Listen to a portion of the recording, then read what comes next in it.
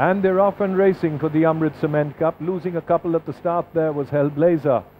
But as they settle down to race, and it's Elios, the early, it's uh, Elios on the inside, just the leader there. Lucretius now going into the front from 10 in second. Then just behind them is Sun God. Oh My Darling is prominent up there, a length and a half behind him.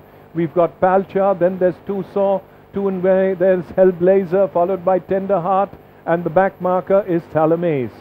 They go past the 800, approaching the 600 meter marker, and uh, out there in front is uh, Sun God, is Lucretius, about three and a half, four lengths, the good of Sun God.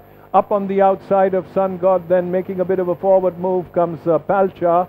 Then we've got Oh My Darling tucked in in fifth. Just behind and tracking him is Tucson. Two and a half away there, Hellblazer being pushed. Then comes uh, Elios, Tender Heart, and out of it, Talamaze.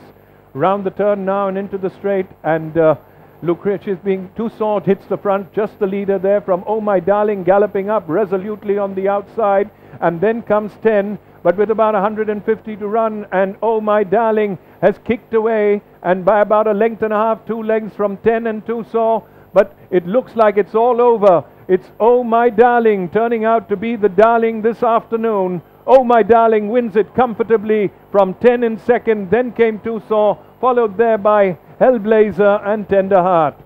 So the outcome of the third race, the Amrit Cement Cup, won effortlessly by number four, Oh My Darling, trained by Patrick Quinn, ridden by Suck Lane,